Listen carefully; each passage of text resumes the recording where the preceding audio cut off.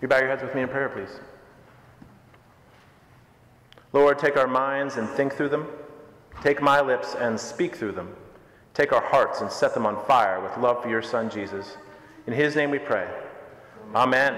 Please be seated.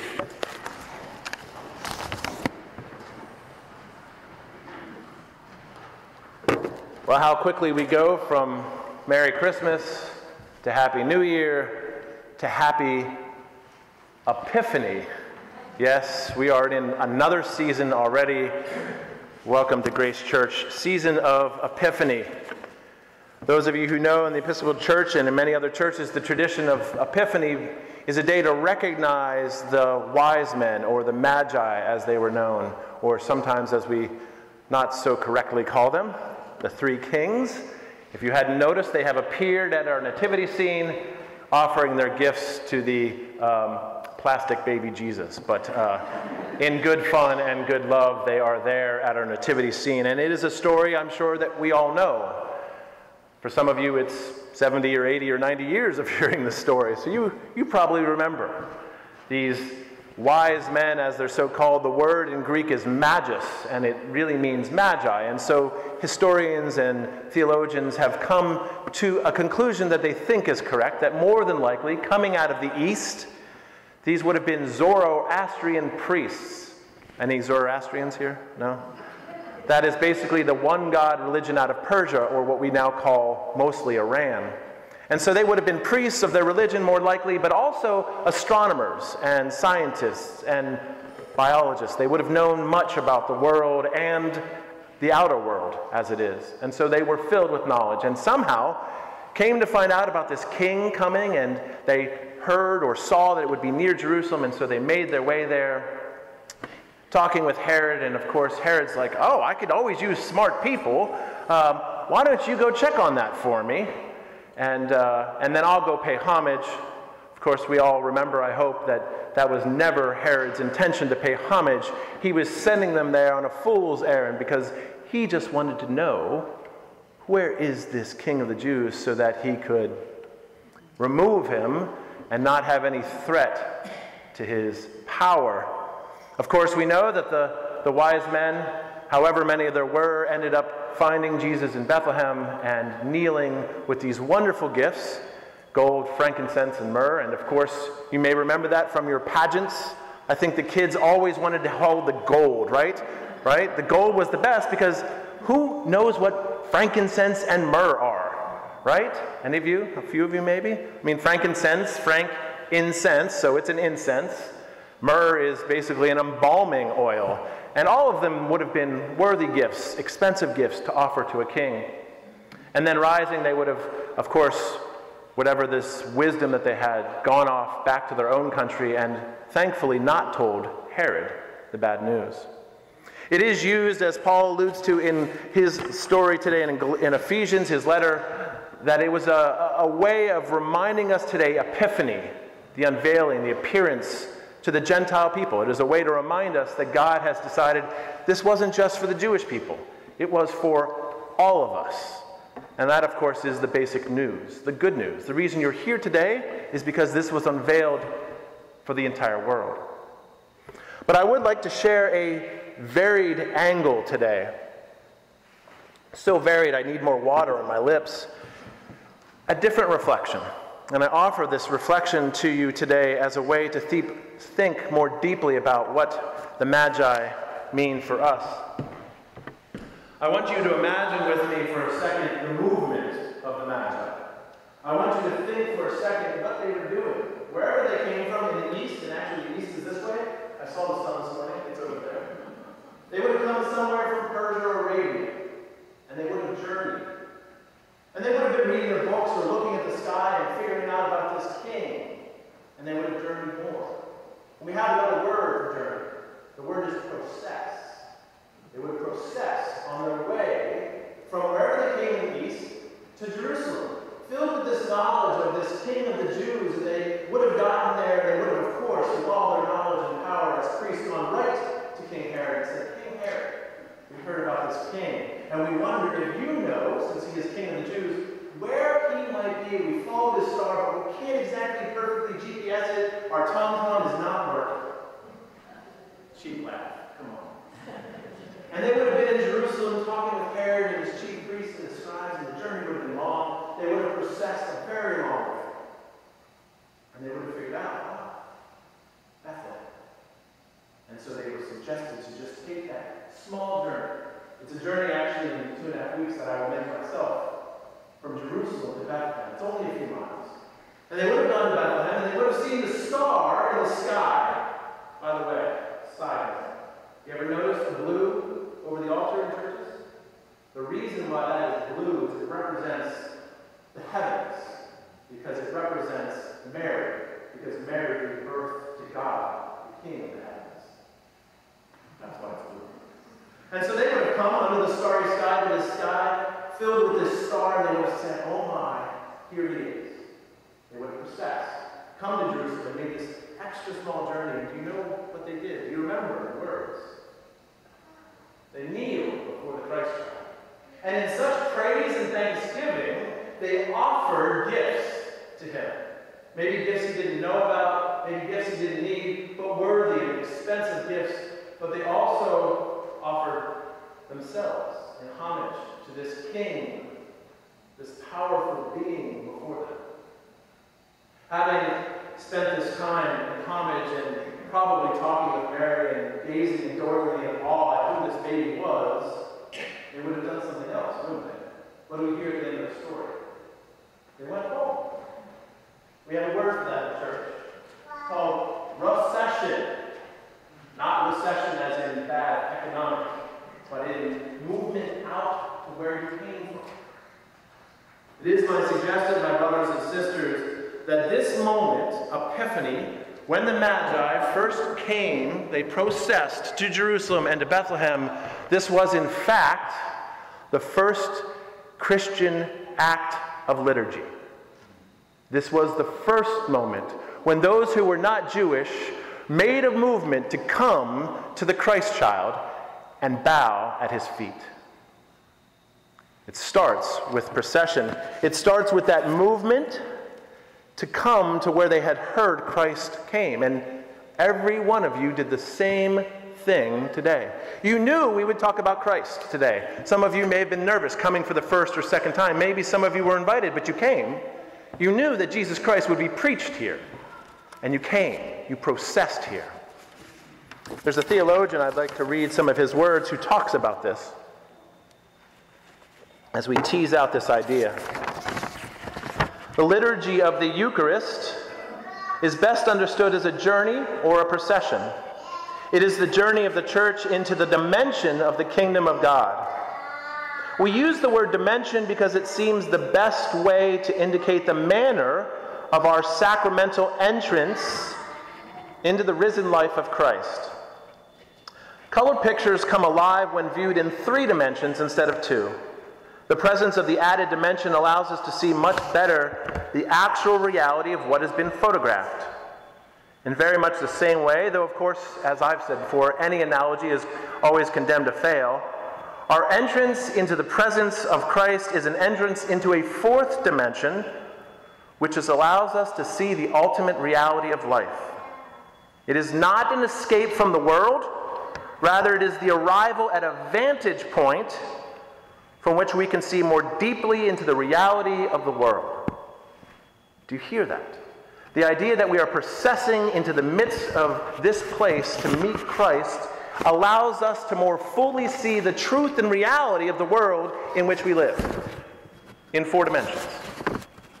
But the journey begins when Christians, you and I, leave their homes and their beds. They leave indeed their life in this present concrete world and whether they have to drive 15 or 20 miles or walk a few blocks or a few feet, a sacramental act is already taking place. An act which is the very condition of everything else that is to happen here. For they are now on their way to constitute the church, or to be more exact, to be transformed into the church of God.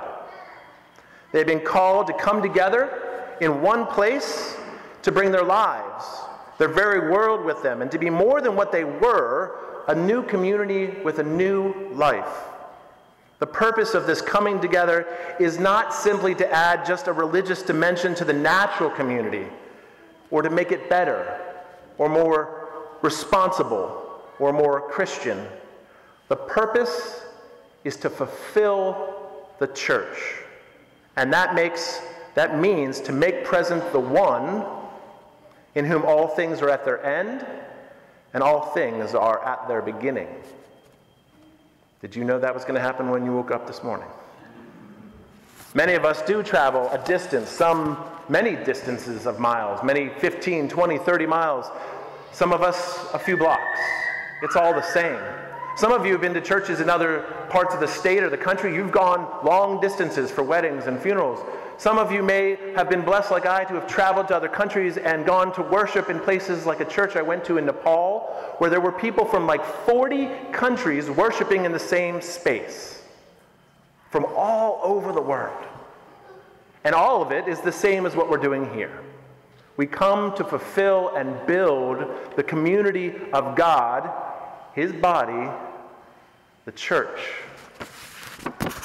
The purpose then of this procession and journey is to become church. That's why we process. That's why we have liturgy. Some of you may be new to this church or the Episcopal Church. You know that the Episcopal Church comes out of the Catholic Church, and the Catholic Church comes out of what would be called the Orthodox Church.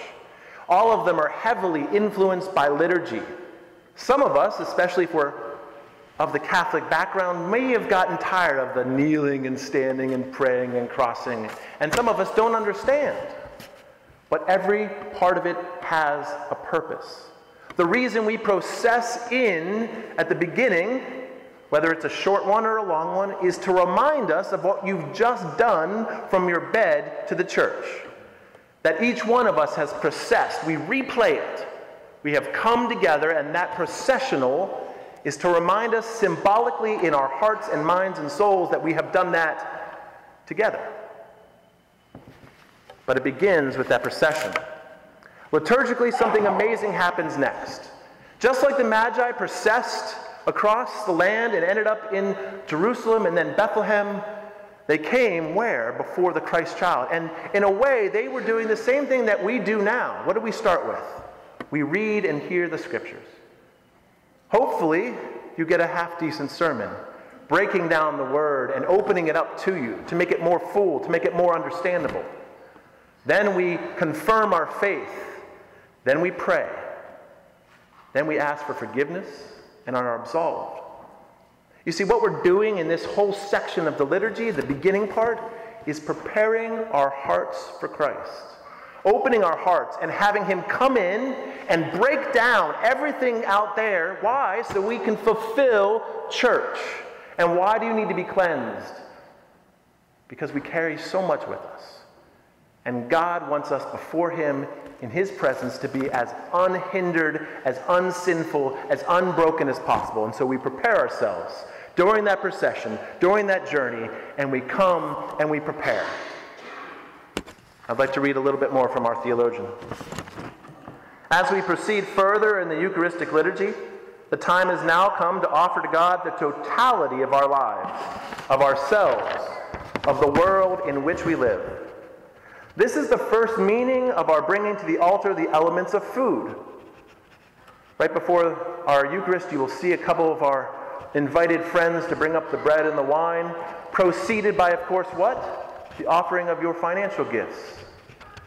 We know that we were created as celebrants of the sacramental life, of its transformation into life in God, communion in God.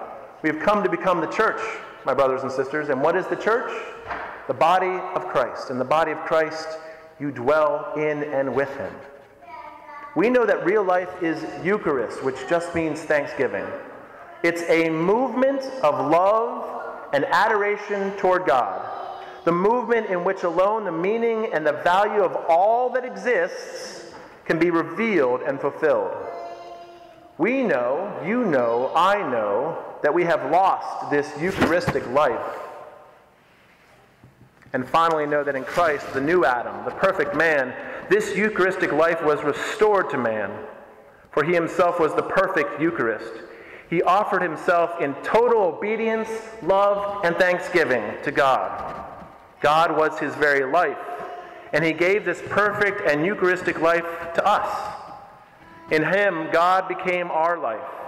And thus, this offering to God of bread and wine, of that food we must eat in order to live, is our offering to Him of ourselves, of our life, and of the world. When those magi processed across great distances, risking injury and death, and ending up on their knees before the Christ child, they offered gifts of themselves. They offered their lives to this King of Kings. My brothers and sisters, you do the same thing every Sunday. And if you didn't know you were doing it, now you do. Liturgy has purpose. We may forget about it, we may not like it, but deep within our souls, something is happening as we draw into the presence of Christ and God. And so the story of the Magi, I think, can be seen as the first Christian liturgical act in the world. 2019 years ago, the Magi set forth a template for what we do every Sunday and every other day that we worship. It is one of the reasons why I always hope you're here on Sunday. Not because you're not beautiful and lovely and I, I miss you, not because we need your money or your time or your talent, but because I truly believe that when you walk through the liturgy, you come closer to Christ and we become the community of God. And that's what we do here on Sunday. Now, at the end of the story, the Magi get up, don't they? There's one more thing you have to do. All of this is beautiful and wonderful and astounding that God would give us a mechanism to come into His presence at His table, to offer our financial gifts, the bread and wine, and even ourselves as we kneel before Him. But that's not enough, is it? We must get up and go out those doors and share that light and that love and that community. There is a warning in the story. Maybe you missed it. Do you remember when Herod is talking to his priests and his scribes? These are Jewish priests and scribes. Do you recognize the conversation about the Messiah who has come into the world? And do you see who goes to see the Messiah? Not the Jewish priests and scribes, but priests from another land who don't even know who he is. The warning, my brothers and sisters, is that you must fully go yourself. Being spiritual but not religious is not gospel. That is a half watered down measure. That is attempting to do something which you're not, which is saying, I can meet God anywhere else, but I don't have to go to church at all. You don't really, do you? You can talk to God in your car or your bathroom or at work or on the airplane, but do you see here? We do it together as community in the midst of the liturgy. And this warning is it's kind of like if the second coming of Christ, if we found out about the second coming of Christ and he was going to Bethlehem, Connecticut, ironically, there's a Bethlehem, Connecticut. And if we were all told Jesus is coming to Bethlehem, Connecticut, and none of you wanted to go, and we picked three Muslims or Jewish people and said, You go check out our Lord and Savior, why would you do that? We must go to Christ ourselves. We must process and prepare our hearts before Christ ourselves. We must kneel before Christ ourselves and offer the totality of our being.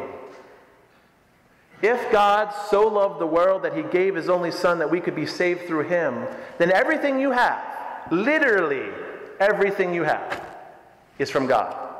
When we process into church, what are we doing? We are giving everything back to God. And we do it in Eucharist, which is thanksgiving. Kneeling before Christ and saying, Thank you, God, for everything you have given me. I am yours totally. This is the church of God. This is the community of God. Remember, in him was life, and his life was the life of the world. Now we're just offering it back to him in praise and thanksgiving through the liturgy, through the Eucharist, that God may be glorified in all things as we are drawn back to Him in Christ. drawn back into the love of God. And in that moment, love is restored as the very life of the world in you and in me, and then taken out to share with everyone we know, now and forever. Amen.